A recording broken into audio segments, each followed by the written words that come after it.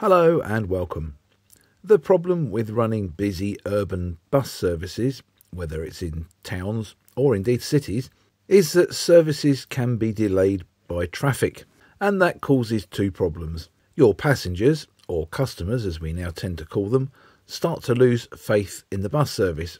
The more unreliable the service is, the less confidence they have in it, which means they're more likely to find an alternative way of travelling, which doesn't make a very good business model.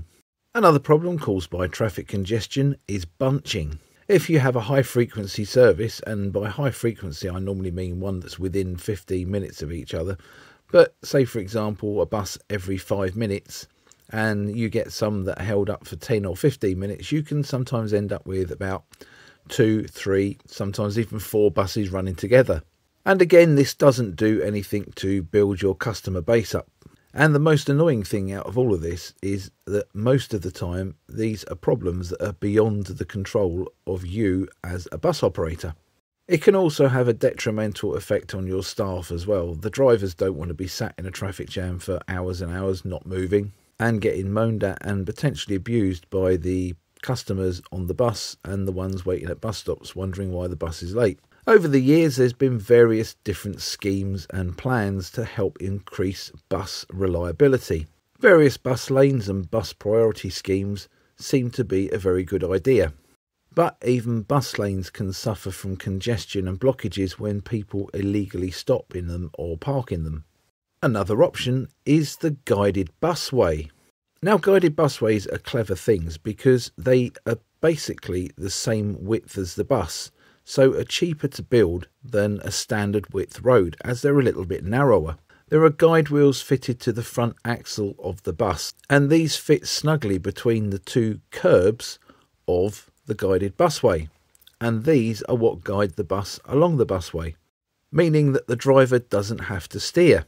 In 1980, an experimental busway was built in Essen in Germany. The O-Bahn was used as a test centre for Mercedes Benz to develop the guided busway concept. Now, busways aren't completely infallible. They can have people driving along them, lorries get stuck on them, but it tends to be a lot less than it is with a bus lane.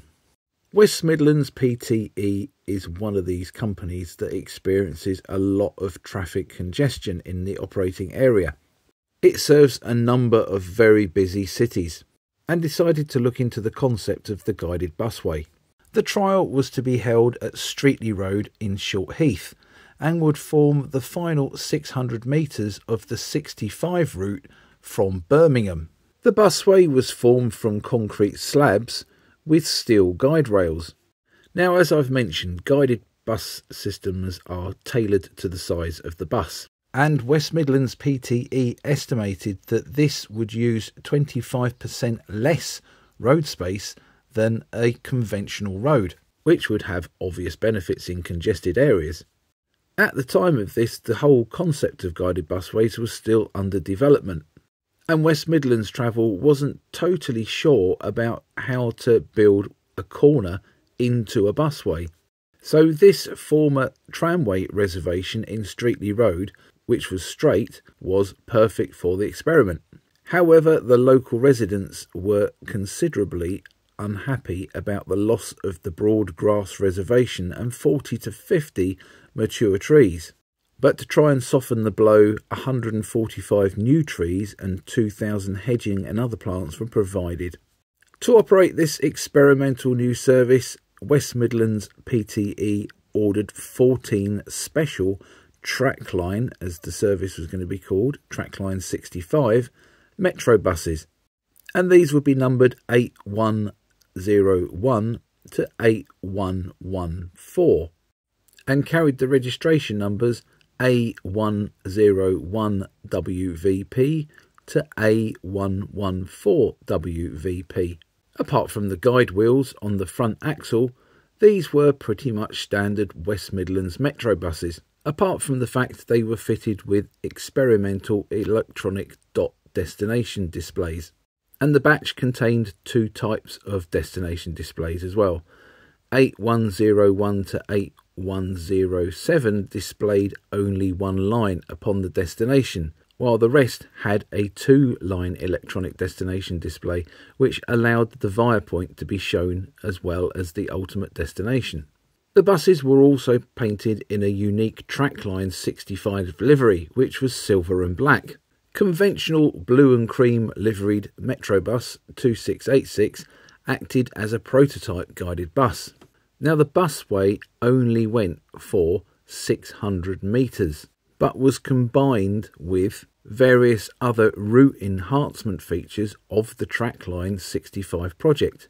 And these included things like bus lanes that we talked about before, as well as changes in road priorities to improve traffic flow for the buses. The guided busway itself opened on the 9th of October amid enormous publicity. The bus drivers were told on entering the guided busway to bring the offside guide wheel into gentle contact with the leading guardrail of the busway. As the bus drove forward, it would engage the near side guardrail as well, and from then on, the driver didn't need to steer the bus and it must have been a very strange experience for them to be driving in this sort of style. Nothing like this had been seen or used before in the UK, so this really was a cutting edge technology experiment at the time. It was also the first guided busway system in the world to use double decker buses. There were other systems in the world, of course, but they were all using single deckers. After one year, Tracline 65 had increased its passenger carrying by 29%. But of course, this wasn't all down to that 600 metres of guided busway. All the other route enhancements, as well as the increased publicity, had also played their part. So it was quite hard to see how the busway had benefited the whole route in general. Despite this, the Tracline 65 project had provided valuable knowledge and information about the whole guided busway scenario for West Midlands PTE. Early in 1986, the PTE reported that up to £500,000 would be required to experiment with curves and other situations not encountered on the existing track. With the experiment complete, on the 26th of September 1987, the busway was closed, and work began on dismantling the busway and replacing it back with the original central reservation, grass, and trees. The 14 metro buses that had worked the guided busways quickly lost their guide wheels and were repainted by West Midlands Travel, as it was then, into standard fleet livery, and they gained the fleet numbers 2961, to 2974, although 2961 was painted in a prototype time saver livery and it remained in this livery for a while. However, happily, Metrobus 8110 has been restored as a Tracline 65 bus and is safely in the hands of Aston Transport Museum, which is located in Aldridge. So, was the guided busway trials a success? Well, yes, they were. We now have quite a few guided busway systems in the UK. The best known of these, without a doubt, is the Cambridge guided busway. At 16 miles long, this is regarded as the world's longest busway and utilises long stretches of former track bed of a dismantled railway line. I'd be very interested to read your comments and thoughts about guided busways below. Have you driven a bus on one? Have you travelled on one? What did you think? And do you remember the Tracline 65 service from West Midlands PTE? And how would you feel about driving a hands free Metro Bus Mark II? So you've reached this far watching about the West Midlands Guided Busway, and thank you very much for watching. However, I think as you've got this far, I'm going to treat you to a little what they call Easter egg, something special. A little factoid about West Midlands PTE. How does that sound? So, while I was doing my research into the guided busway, I managed to get hold of a little factoid about where the West Midlands logo came from when the PTE was formed, and I shall share that with you now.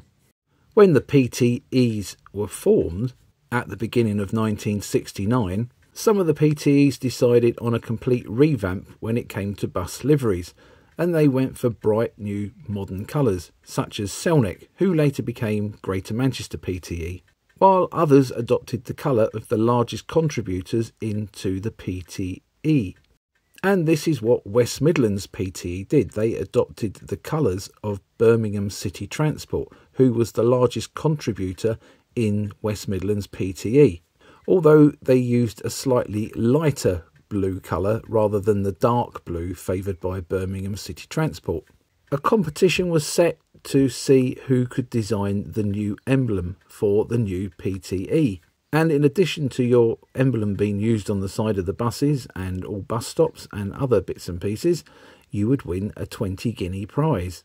And that's probably around £25 in today's money. The PTE had 44 entries, and the first prize eventually went to a Miss Christine Vaughan of Solihull Technical College.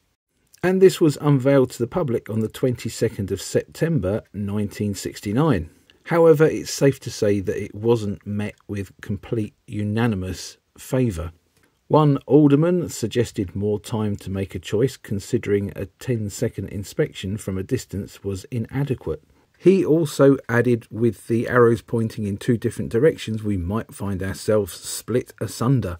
Another councillor also objected to the arrows, saying they could point to hell or somewhere else. An urgent decision was required. However, as new buses were on the way, this was the accepted design. And that is how the creation of the West Midlands PTE logo came about.